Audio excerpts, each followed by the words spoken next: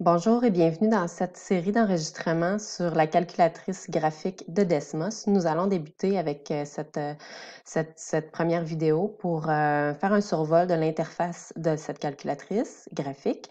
Donc, première chose, il faut se rendre à l'adresse desmos.com.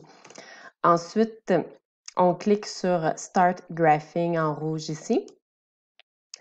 On arrive à l'interface. Donc, euh, quelques éléments à considérer. D'abord, ici, avec la petite planète, on peut choisir la langue française pour travailler. Le point d'interrogation qui est ici nous donne plusieurs ressources d'aide intéressantes, euh, dont, quelques visites guidées, ainsi que euh, le guide de l'utilisateur de Desmos, qui est vraiment intéressant. Euh, à côté ici, c'est euh, l'option pour partager euh, le graphique, par exemple, aux élèves. Les options de connexion ou de création de compte sont aussi présentes.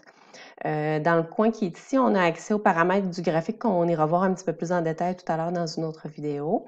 On peut zoomer, dézoomer notre graphique et revenir au zoom initial avec la petite maison qui est ici. Euh, dans le graphique, on peut vraiment se promener en gardant le bouton euh, gauche de la souris enfoncé comme ceci et même avec la roulette de la souris pour zoomer et dézoomer. De l'autre côté, on a accès ici à l'emplacement pour renommer notre graphique. Donc, en cliquant ici, on peut lui donner le nom de notre choix. Les trois petites barres ici, c'est pour ouvrir un graphique qui est déjà existant dans notre compte. Pour ça, il faut absolument avoir euh, créé un compte et être connecté. Donc, c'est ici qu'on peut conserver toutes nos créations. Et dans cette zone-là, ici à gauche, c'est vraiment ici qu'on va introduire les différentes fonctions euh, de Desmos pour la création de notre graphique. Finalement, complètement en bas, c'est ici qu'on peut afficher le clavier de Desmos. Bien sûr, tout au long de notre création, on peut se servir de notre clavier euh, de l'ordinateur, mais parfois pour certaines fonctions, c'est plus pratique d'y aller avec celui-ci, qui est en deux, euh, en deux parties. Donc ça, c'est la première partie du clavier.